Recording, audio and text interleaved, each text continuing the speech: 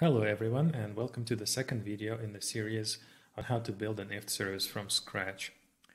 In the previous video we looked at my simple uh, to-do app that has a React frontend and a backend API. It provides some basic functionality to create, store, complete and delete to-do items and it has end-user authentication. I highly recommend the process overview and the guidelines for success sections of the docs as companion pieces for the series. I'll leave the links in the description and you can always go to ifttt.com slash docs for everything related to building and publishing new services and applets on IFTTT.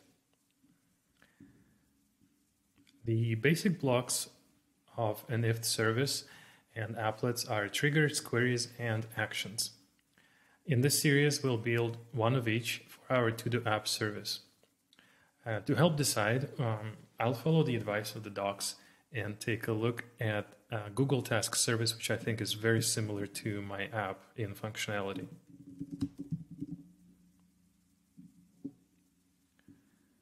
So if we look at the details of the published service, uh, we can see it features two triggers.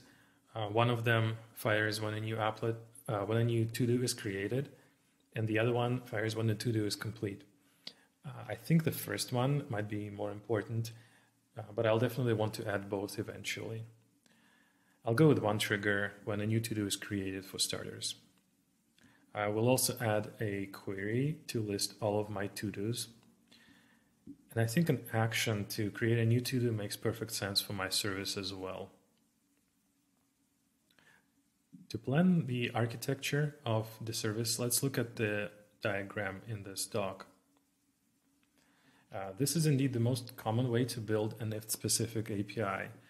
Uh, my to-do app already uh, has an API that the front end consumes, so we'll focus on building this uh, shim app that will interact with the apps API on one end and expose endpoints to IFTTT on the other.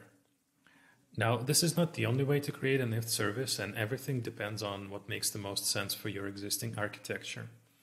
In my case, I wanted to avoid writing to the database directly from the IFTTT API. Uh, so to create tasks, we'll definitely be calling the apps API. I think that's enough theory for now. Let's jump right into it. Over on ifttt.com, I want to go to my developers dashboard uh, I already have the service that I built uh, as I was preparing for the video.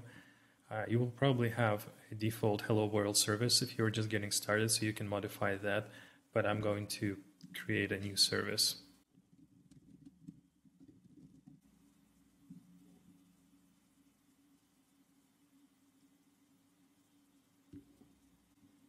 I will fill out the fields for the service later as we prepare to submit it for review. Um, for now, let's jump into the API section right away. So in this, uh, in this section, we will need to provide an API URL. Uh, we have our service key, which we'll be using later on. In the authentication section, we will be setting up um, in the later video uh, the OAuth2 with refresh token scheme we have some example triggers and queries. Um, well, I don't have them in this uh, in this service because it was created from scratch. But in a default Hello World service, you will have um, a placeholder trigger, a trigger, a query, and an action. So you can um, you can modify those, or if you're starting like me uh, from a perfectly blank service, then we'll be creating new triggers, queries, and actions. Uh, the endpoint tests uh, we are going to be using uh, as a template for the IFTTT service API. So in this, in a way, we'll be doing a test-driven development, relying on the endpoint tests as um, as, as, our, as our template for what we need to build or what we need to fix. Right now, the tests are not running because we have not provided an API URL.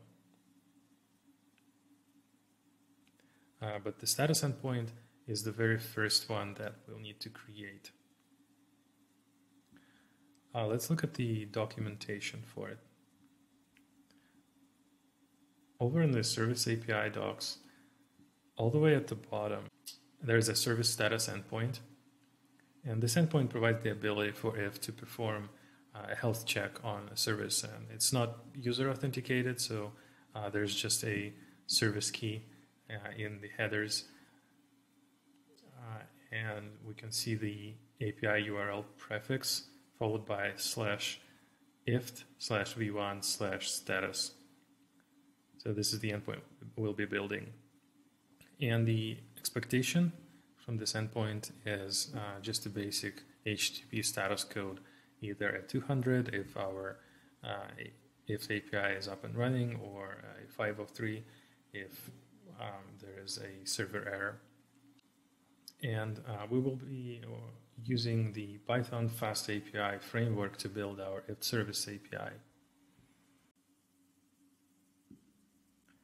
Over in Visual Studio Code, I already have a folder for my new IFTTT API. Um, I have my Python virtual environment set up in the working folder. Um, so let's install FastAPI with pip.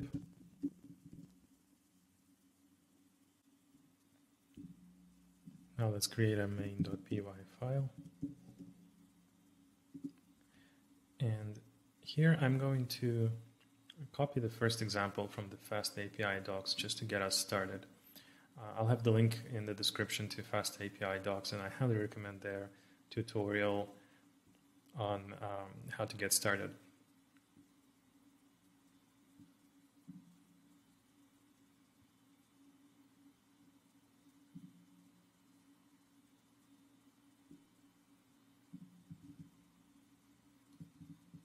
And let's run the FastAPI server locally.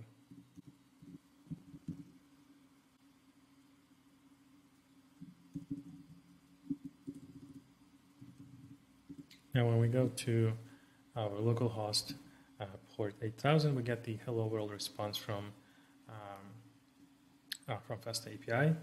And over in the terminal where we have the server running, uh, we see the uh, GET request. So we have the server up and running. Now uh, let's create the status endpoint. So I'll copy the hello world route and modify it for our status endpoint.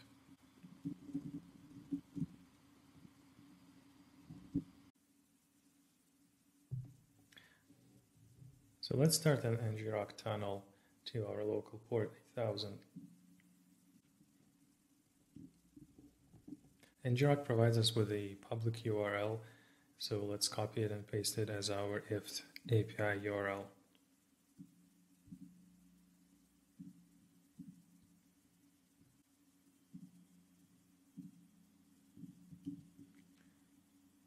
And now after saving it, go back to the endpoint tests.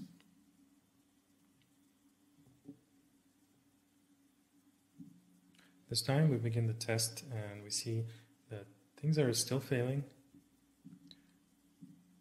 But our biggest victory so far is this little green dot next to the valid request test. So this test sends the uh, request to our API URL prefix plus the route uh, for the status endpoint there is a service key in the header and our server responded with a 200 code and the body um, uh, with that with the message. You can see that the only thing uh, down here in the checklist that this test is looking for is the 200 status code. So we've passed that with our new endpoint. Uh, the next test with invalid channel key or service key as it's also called, you can see that the, the header is sending invalid as the value.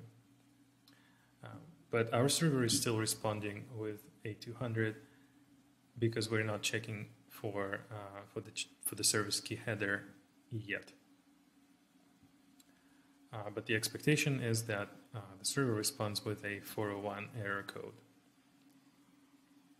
So this is what we will tackle next, adding a function that will check the service key in every request that is sent to us. This can be um, as straightforward as just checking for the value of the header in each route, but uh, thinking forward a little bit, uh, instead of doing it uh, individually, uh, we can add a common uh, exception that will that will be raised every time the service key did not match what um, what we expect. So I'm creating a class for the auth exception and an exception handler I'm just copying and pasting from my uh, previous code to save some uh, typing uh, while I'm recording the video. So in this uh, in this exception handler, uh, we are uh, just returning a JSON body with a 401 status code and this this JSON body. in this test, it only expects a 401 status code, but we will reuse this exception in the future for uh, similar cases. I'm just going to fix some imports.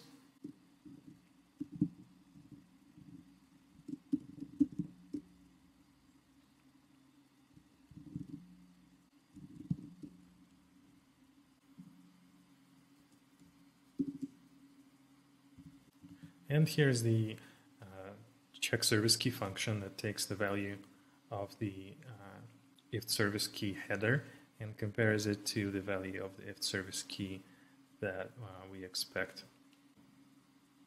And if those two don't match, that raises the auth exception we've just created.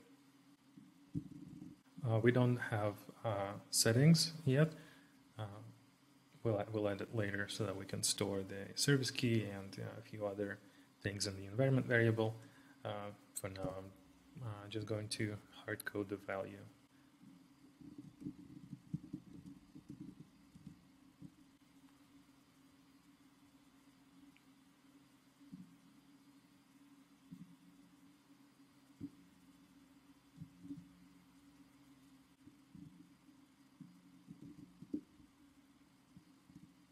To make it work uh, in our routes, we need to look at the FastAPI documentation for um, a piece about injecting dependencies. They have a great tutorial on uh, dependency injection, but in this case, we're not expecting anything back from the dependency. So we um, we will not be adding it to the function like like shown here. Uh, we will instead uh, add it uh, directly to the doc to the decorator.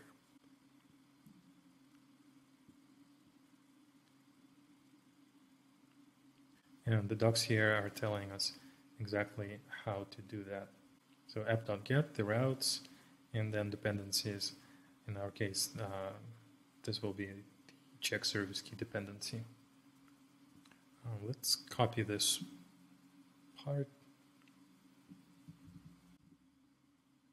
And over in this decorator.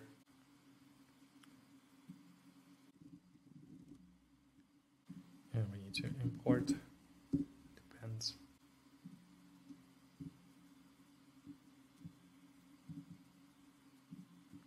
So now we save it, wait for the server to uh, reload.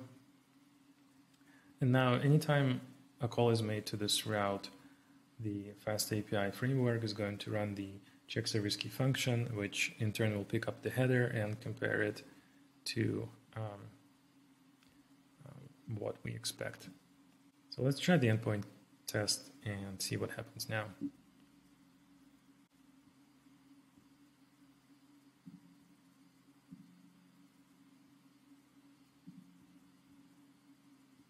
Now look at that. It's all green we have our 200 with the valid service key.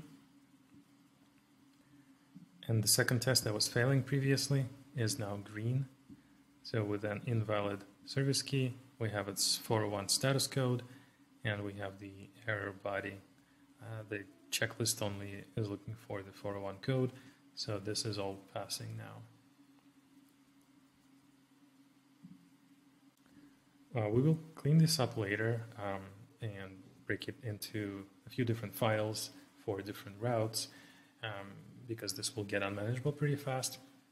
We will also store the service key in the environment variable so we're not exposing it in our code and are not committing it to GitHub, for example. But this will this will be in the next video as we move full steam ahead towards adding authentication. Don't forget to subscribe so you don't miss new videos in the series and thanks for watching, and I'll see you next time.